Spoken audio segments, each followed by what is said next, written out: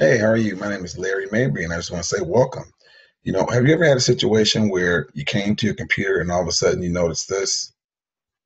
Bam, you're like, oh my God, what's going on? I don't know what to do.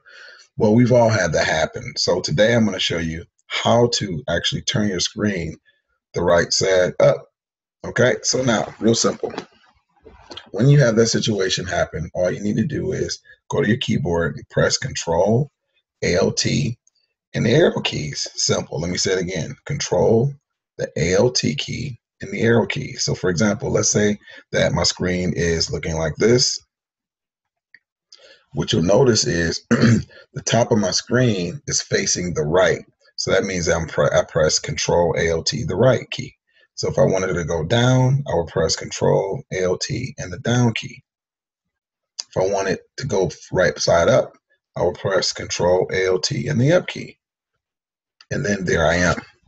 Hopefully you'll find that this little trick, if you will, is really beneficial to you in the event that you're typing a paper or something, you have a situation and you know you hit it by mistake and you don't need to shut down a computer.